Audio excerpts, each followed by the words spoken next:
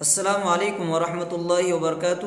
ان الحمد للہ والصلاة والسلام علی رسول اللہ اشہد ان لا الہ الا اللہ وحدہ لا شریک لہ واشہد ان محمد عبدہ ورسولہ اما بعد۔ معزز ناظرین، آج میں آپ کے سامنے شریعت اسلامیہ کا جو اصل مصدر ہے، اصل مرجع ہے، اس کے بارے میں بات چیت کروں گا۔ اور اس لیے آج کے اس درس میں اس کے بارے میں بات چیت کروں گا، کیونکہ اس کا تعلق رمضان المبارک کے مہینے سے ہے اور کئی دروس میں انشاءاللہ آپ کے سامنے رمضان المبارک کے مہینے کے جو فضائل ہے، روزے کے فضائل، کچھ اعمال کے فضائل، کچھ مخصوص مسائل آپ کے سامنے کئی دروس کے اندر انشاءاللہ پیش کیا جائے گا۔ تو کیونکہ رمضان المبارک کے مہینے میں قرآن کریم کا نزول ہوا ہے، تو اس لیے آج کا درس ہم اسی پر ہی ختم کریں گے کہ رمضان المبارک کا مہینہ وہ مہینہ ہے جس میں قرآن کریم کا نزول ہوا ہے۔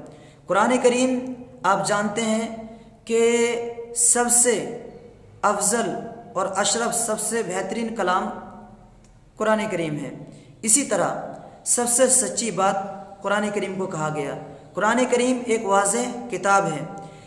اس واضح کتاب کو جو شریعت اسلامیہ کا اصل مصدر ہے، اصل مرجع ہے، اس کو جس مہینے میں نازل کیا گیا ہے، وہ مہینہ کوئی عام مہینہ نہیں ہے، بلکہ مقدس کتاب کو کسی مقدس مہینے میں ہی نازل کیا جائے گا۔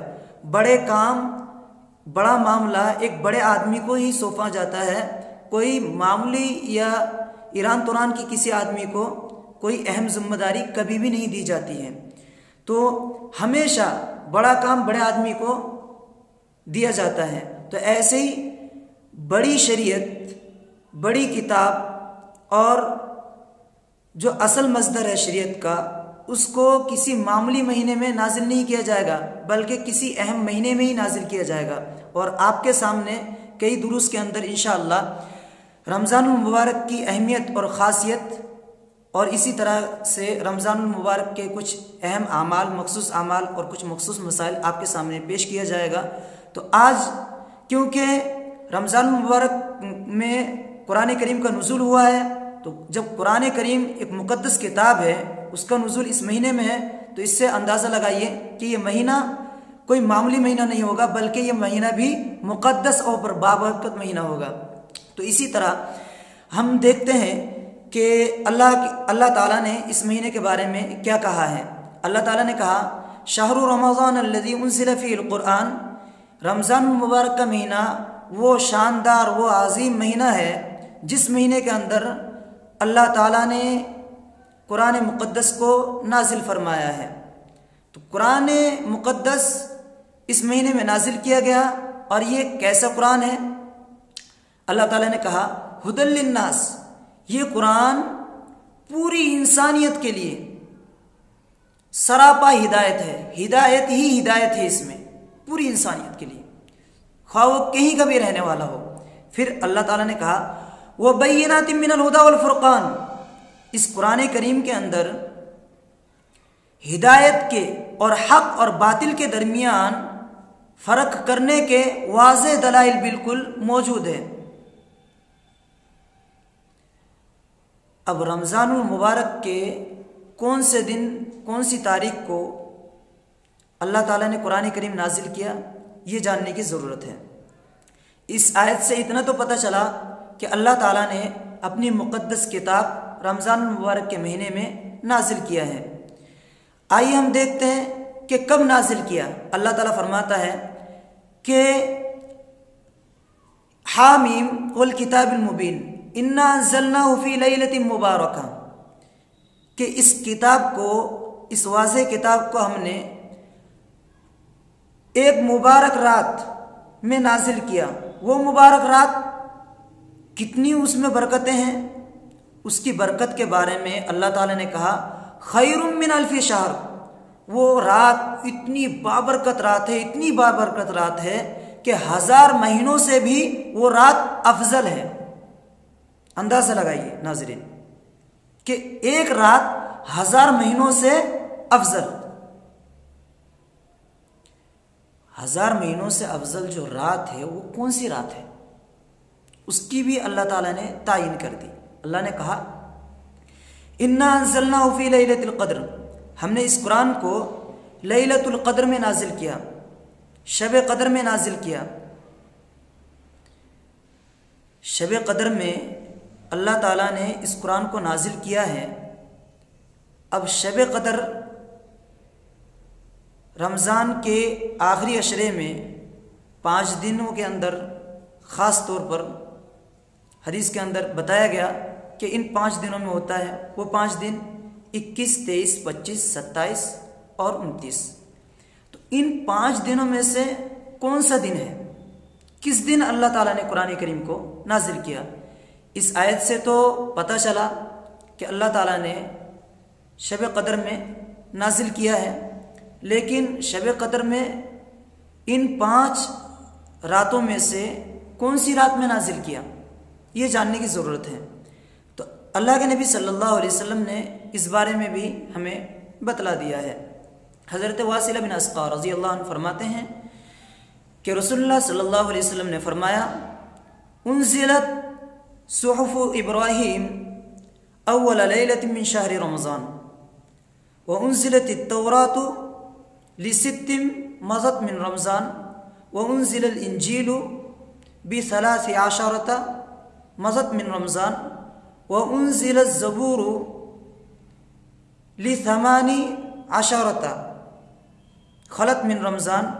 وأنزل القرآن لأربع وعشرين خلط من رمضان.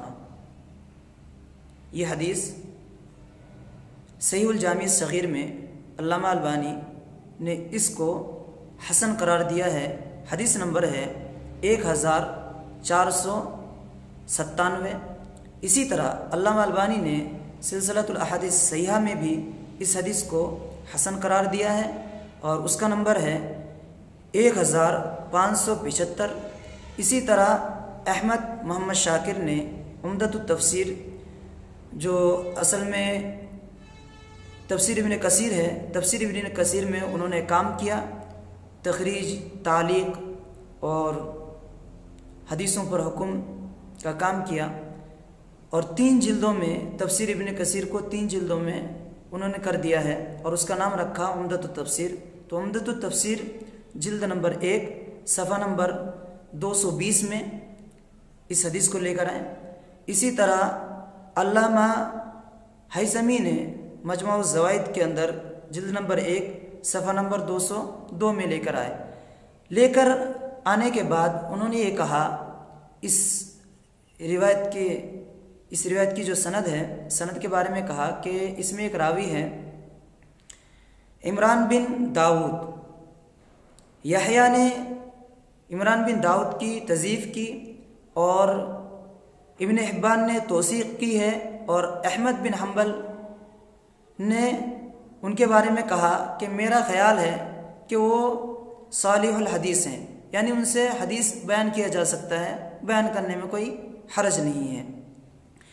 تو یہ حدیث ہے، اس حدیث کے ذریعے سے ہمیں کیا معلوم ہوا کہ اللہ تعالیٰ نے قرآن کریم کو پچیسویں رات میں چوبیس رمضان گزرنے کے بعد جب پچیسویں رات رمضان کی آ گئی، اس رات میں اللہ تعالیٰ نے قرآن کریم کو نازل کیا۔